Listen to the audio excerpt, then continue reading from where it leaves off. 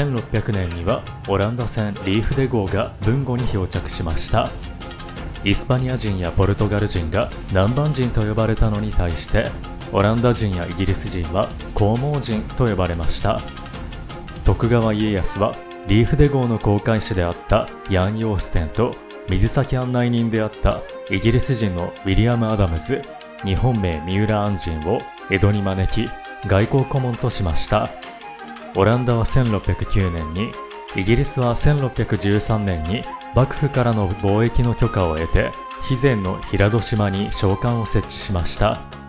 家康はメキシコとの通商を求めて京都の商人であった田中章介をメキシコに派遣しました。幕府は生糸輸入におけるポルトガル商人の利益独占を排除するために糸アップ制度を設けます。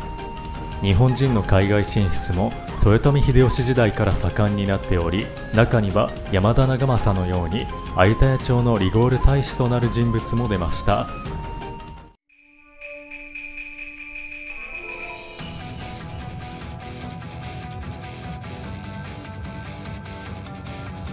江戸時代になると幕府は朱印状を大名や商人に与え貿易船の渡航を許可する朱印船貿易を行ったり1604年には糸ワップ仲間を組織して生糸を一括輸入するなど貿易の管理統制を行いました。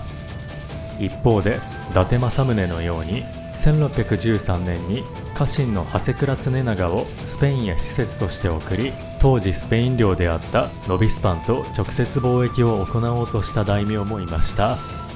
また幕府の禁教令により1614年には多くのキリスト教徒がマニラ、マカオへ追放になり1622年にも肥前の長崎でキリスト教徒が処刑されました。1630年代にはいわゆる鎖国が完成しますがその後も長崎を中心に貿易は継続されました。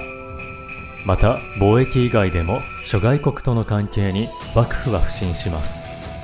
例えば朝鮮とは豊臣秀吉の朝鮮侵攻により一時国交断絶状態となっていましたがその後講和が成立し1607年に朝鮮から江戸へ通信使が来日しました。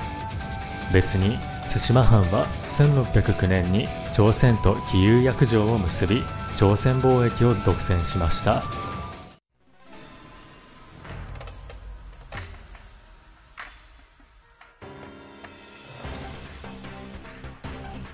ドイツ人医師ケンペルはその著書日本史で日本は長崎を通してオランダとのみ交渉を持つという閉ざされた状態であることを指摘しました。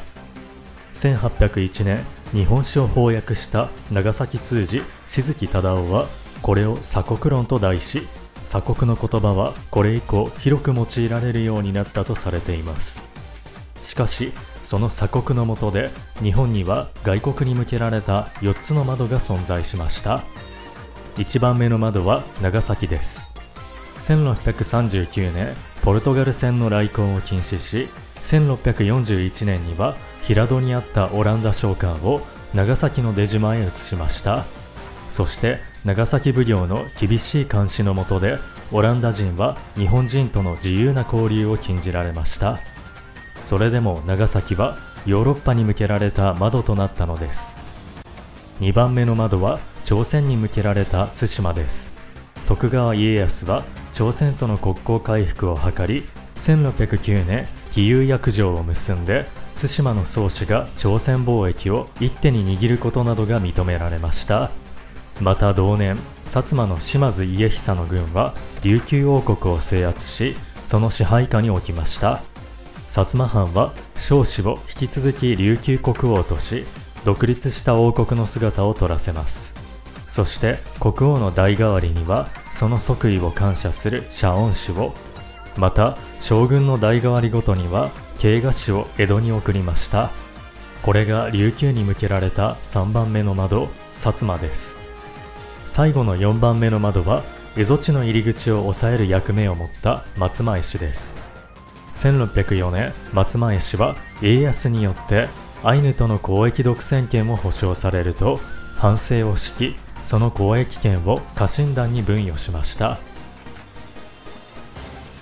ご視聴ありがとうございました。よければチャンネル登録いいねよろしくお願いします。家庭教師をやっておりますので興味がある方は概要欄からメールをしていただければと思います。それではまた。